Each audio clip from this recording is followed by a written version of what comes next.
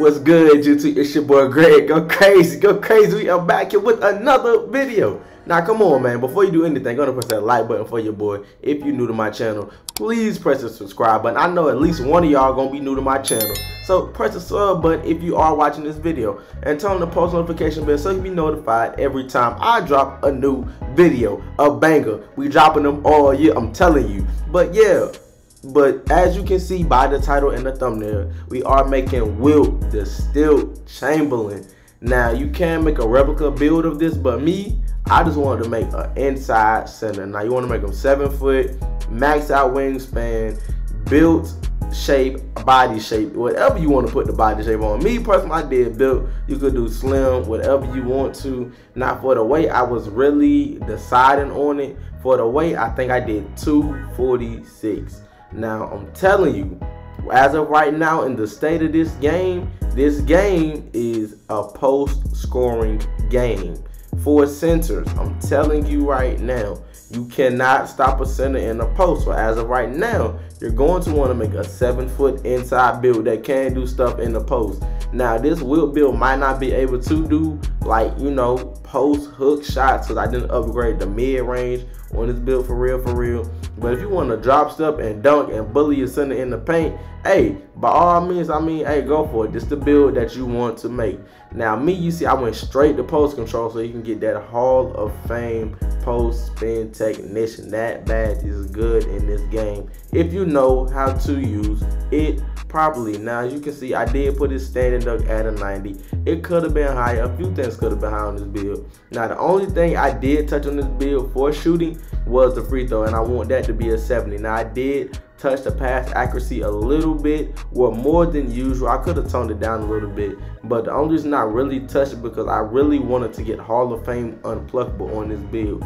Now, you can't get a Hall of Fame unpluckable on this build. It says you can, but I would have to have more playmaking badges because since it's a tier 3 badge, it only, you have to have at least 10 badges in all other categories before you can get to tier 3. And in order to get the Hall of Fame, you know, unpluckable, you only need 8 more badge points.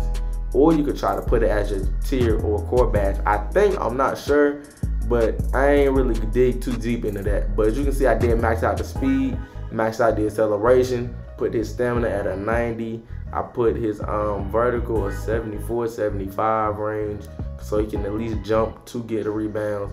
And I did put his strength up there too. So when that boy set them big body screens, you know, the guard gonna get stuck unless his pick dodger is at least silver to gold. Now if it's gold, silver, I mean gold brick wall versus gold pick dodger, I don't know which one to win that battle. It'll most likely be the brick wall because of his strength.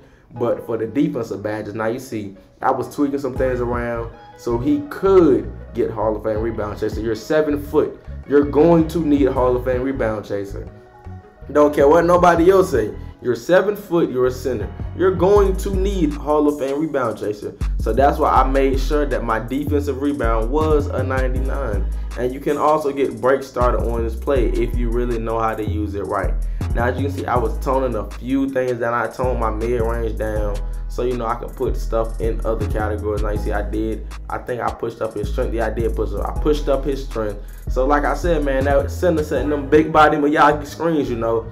The guard's not going nowhere. He's not going over the screen unless he tries to play high over the screen. And that's unless 2K lets him play high over the screen and they allow him to. Now you see for my Wilt the Stilt uh, build, you know, the build I really wanted to choose. You know, Will he could have been in the post, but not really. But I mean, it's on you, personal preference. Me personally, for this takeover, I would I would give him a post scoring takeover. Now, I mean, you could use back down Punisher, different ones and all that, but me, I chose back down Punisher because he can't shoot in the post. He can't shoot at all in the post. For real, for real. You can try, but his mid range is low but I don't recommend trying. And I also chose paint intimidation.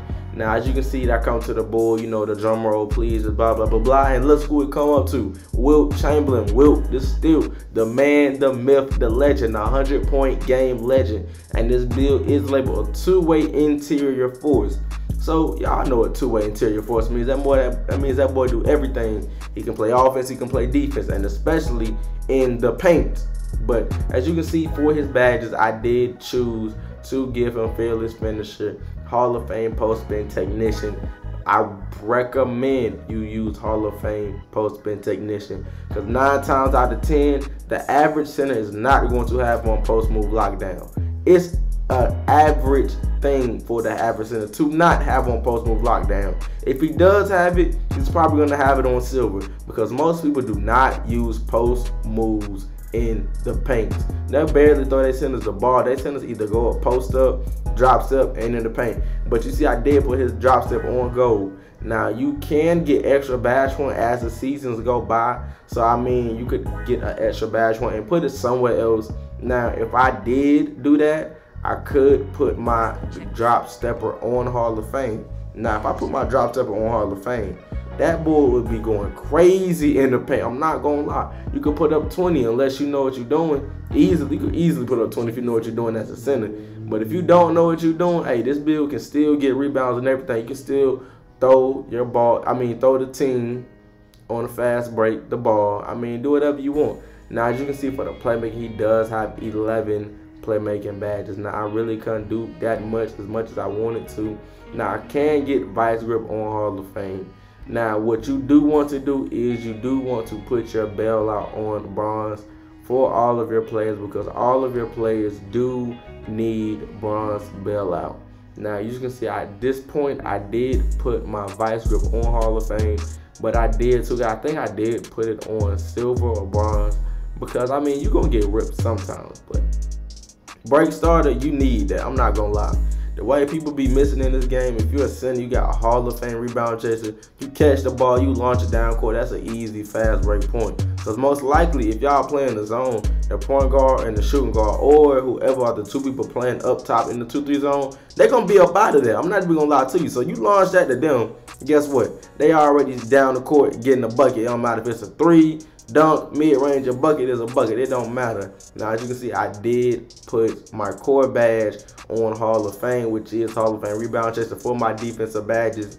Now, you can see, you can put box out beast on gold. Like I said, I only get post move lockdown up to silver. And this is inside build, so I only get it up to silver, what you think other centers gonna do? Most centers in 2K want to shoot. Everybody's looking for a popper this year. It's pick and pop, pick and pop. And if you can't shoot, hey, this will be the build for you if you want to make center and can't shoot. Hey, this is your bread and butter right here. If you can work in the post, this is your bread and butter right here too. I'm not gonna lie to you. You see, I do get brick wall up to go. I will put that on, and I did put on anchor, but so I can block shots at the rim. Because you do need anchor to block shots at the rim. Anchor is the new rim protector, so you will need it. And I did put on bronze interceptor so I can get steals. I was trying to change things around so I could get pogo stick, but as of right now, I cannot get pogo stick until I get six badges. But yeah, man, you can really throw any badge you want on this build, or as much as you can to your tier. Don't forget to like, comment, subscribe if you are new. Please press the subscribe button if you are new to my channel, man. It's been your boy Greg. Go crazy, go crazy. We still out here grinding, man, and I'm out, man. Peace.